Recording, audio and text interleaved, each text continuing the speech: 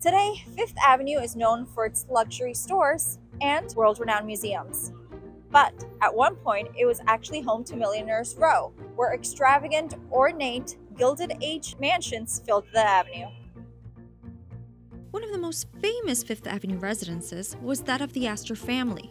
John Jacob Astor's estate, which was built in the late 1800s, was considered one of the grandest mansions on Fifth Avenue, with a ballroom that could hold 1,200 guests. Astor, a business magnate, perished in the Titanic disaster of 1912. After his death, the family sold the mansion to developers, and today, Temple Emanu-El stands in its place. Another breathtaking residence along the avenue belonged to Cornelius Vanderbilt.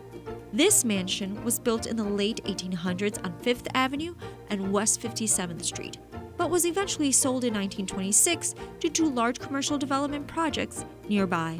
The mansion was demolished, and in its place now stands Bergdorf Goodman. While the mansion itself no longer stands, remnants of its grandeur still exist today. Vanderbilt Gate, located in Central Park, was actually the front gate of the residence. While many of these mansions were lost through time, some still remain and now house organizations and museums. The breathtaking buildings that house Cooper Hewitt, the Jewish Museum, the Henry Clay Frick House, and the Ukrainian Institute of America were at one point the residences of some of New York's wealthiest, even the iconic Cartier flagship store is housed in what was the Morton F. Plant residence, after the high end retailer acquired the building in 1917.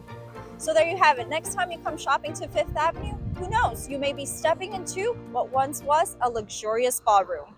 If you know, you know.